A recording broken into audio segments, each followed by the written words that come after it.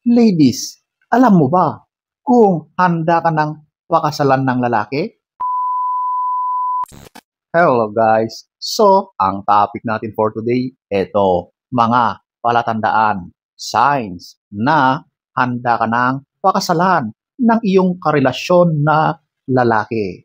So, kung nakaka-relate ka, kung gusto mong malaman ang mga ito, panoorin mo ang video na ito. So, without further ado,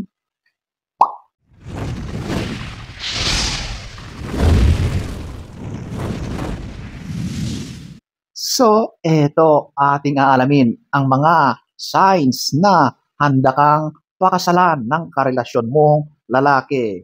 Number seven, ito yung kapag nag-propose siya sa iyo. Oh, alam mo, kapag talagang lumuhod yan sa iyo at sinabihan ka ng Will you marry me? Naku, sobra-sobrang obvious na sign yan, di ba? Hindi na kailangang ipaliwanag yan na yung inaantay ng karamihan, di ba? Marami tayong napapanood na mga ganitong mga videos of uh, proposing, di ba? Kapag ginawa yan ng lalaki, talagang handang-handa na yan. Yun na ang intentions niya sa iyo, kasalan. Okay? Kaya kapag ginawa yan, nag-propose na sa iyo ang lalaki, wedding bells are coming. Okay? So, ayan po ang number seven. Number six, ito yung including you in his decision makings. Oh. So, kapag ganito na, ang turing ng lalaki sa iyo, ibig sabihin na talagang malalim na ang pagsasama nyo. On another level, yung relationship ninyo. Kasi, yung mga desisyon na yan, ay isinasali ka na niya. Gusto niyang makuha yung opinion mo para sa kanyang magiging decision or decisions nyo sa isang bagay. Okay? So, Kapag ganyan ang ipinapakita ng lalaki sa iyo, matuwa ka. Kasi ang mga decision na yan, hindi basta-basta yan isineshare or hinihingi sa ibang tao, yung opinion ng ibang tao. Madalas, siya lang or yung taong kanyang mapagkakatiwalaan. At sino pa ba yan? Ikaw ang kanyang pinili, di ba? Kaya siguradong nakikita niya sa iyo na ikaw, yung potensyal na kanyang maging partner in life, okay? So, ayan po, ang number six. Number five, ito yung discussing marriage-related details. So, ito yung mga topic or yung mga usapin tungkol sa kasalan. Alam mo, kapag ganyan, ano na ba ang ibig niyang ipahiwatig kapag uh, pinag-uusapan ninyo yung mga detalye ng isang kasalan, di ba? Siguradong yan na rin ang gusto niyang mangyari. Okay? So, yung mga ganyan mga pag-uusap, sigurado yan na doon at doon na rin papunta ang iyong mga pinag-uusapan. Siyempre, yung mga detalye, gusto niyang pag-usapan kung ano yung mga dapat gawin at lahat-lahat ng detalye regarding sa isang kasal, di ba? Kapag ganyan yan, doon na yan papunta, promise. Okay? So, ayan po, ang number five. Number four, ito yung showing interest with your family. So, ito yung gusto niyang makilala, yung pamilya mo yung magulang mo, mga kapatid mo, mga kamag-anak mo, or yung mga tao na nakakasalamuha mo araw-araw, di ba? So kapag ganyan yung lalaki, nako, sigurado yan, okay? Napakabihira ang mga ganitong kalalakihan. Kaya kapag ganyan yung relasyon mong lalaki, ibig sabihin talaga ay seryoso siya sa iyo. Kasi pinuin mo, siya pa ang gagawa ng initiative.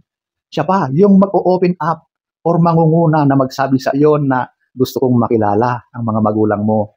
Handa akong i-meet sila. Gusto ko silang ma-meet. It's time to celebrate. Kapag ganyan ang sinasabi ng lalaki sa iyo. Okay? So, ayan po. Ang number four.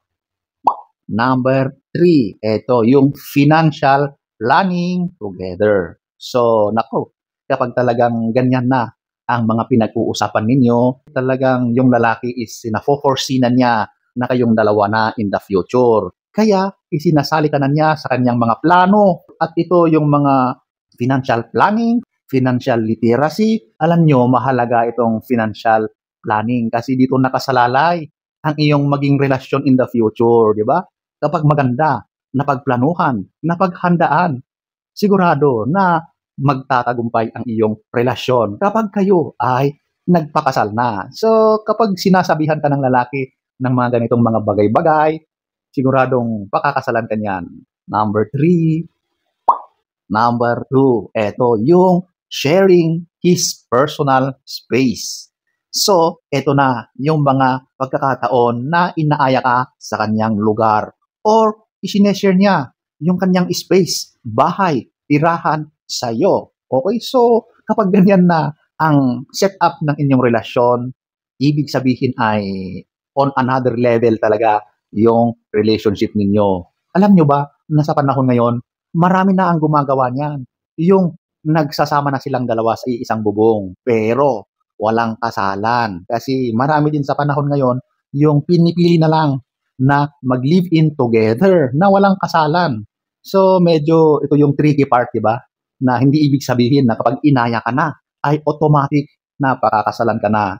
So nakadepende yan sa inyong dalawa kung ano yung mga priorities nyo sa relasyon ninyo. Sa generation na ito, pinipili nila yung live-in kaysa magpakasal. Yung iba naman, gusto pa rin nilang magpakasal. So, most probably ay mataas pa rin ang chances na baka maaring papunta rin yon sa kasalan. Okay? But it is not a guarantee na pakakasalan ka niya. Okay? So, nasa inyong dalawa yan kung ano yung priorities nyo sa buhay, sa relationship nyo, gusto nyo ba ang ganyang setup? Gusto nyo ba na talagang maitali, maikasal sa inyong dalawa? Choice nyo po yan. So, ayan po, ang number two. So, at number one, ito yung making long-term plans together. So, ito na, yung kayong dalawa ay nag-uusap na, gumagawa kayo ng mga plano sa mga future na maaring magkasama kayo. So, example, ito na, yung nagbabalak kayo na mag-invest or gumawa ng isang bahay. Nako, napakabihira ang gumagawa ng mga ganitong plano. Madalas, walang mga plano. Basta, sabak ng sabak agad-agad, di ba? Pero, kapag ganyan, ang nakikita mo sa partner mong lalaki, nako, napakataas ng chances na mag-antay-antay ka na lang at siguradong doon na kayo papunta sa iyong inaasam-asam na kasalan, di ba ba? Kaya yung mga ganyang mga future plans, kung yan ay iyong napapag-usapan palagi, sign yan na handang-handa ka ng pakasalan ng lalaki na yan. So ayan po, ang number one.